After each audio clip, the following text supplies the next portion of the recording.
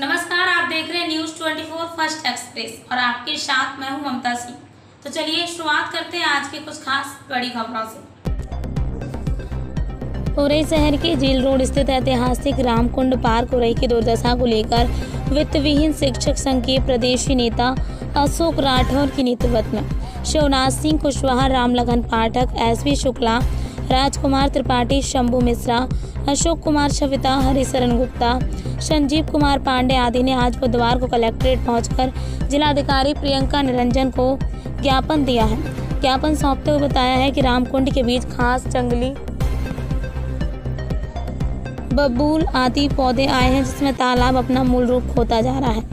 वहाँ पर लगे पेड़ पौधे पानी न मिलने के कारण सूख रहे हैं। उन्होंने रामकुंड में पानी भरवाए जाने तथा वहाँ पर लगे वृक्षों को पानी उपलब्ध कराए जाने की मांग उठाई।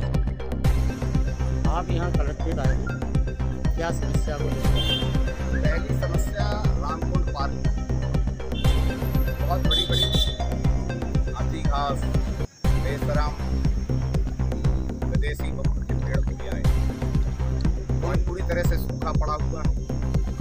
आज बिल्कुल बरसात के पहले आवश्यकता है कि घास को उखाड़ करके और उसमें पानी भरा दिया जाए। तो वाटर रिचार्जिंग भी हो जाएगी और वहाँ प्रतिदिन योग के लिए और घूमने के लिए आने वाले लोगों को अच्छा लगेगा। पेड़ पड़े डीएम साहबा ने भी इस पर आश्वासन दिया है कि आज हम स्वयं विज़िट करके विस्तारण करें वैसे वहाँ रामकुंड को भरने के लिए ट्यूबवेल बनाया गया था।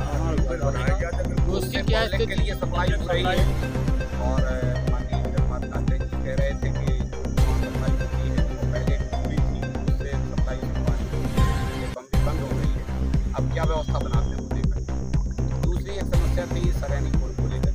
बात सरैनी का पुल बहुत समय से पड़ा हुआ है डीएम साहबा को बताया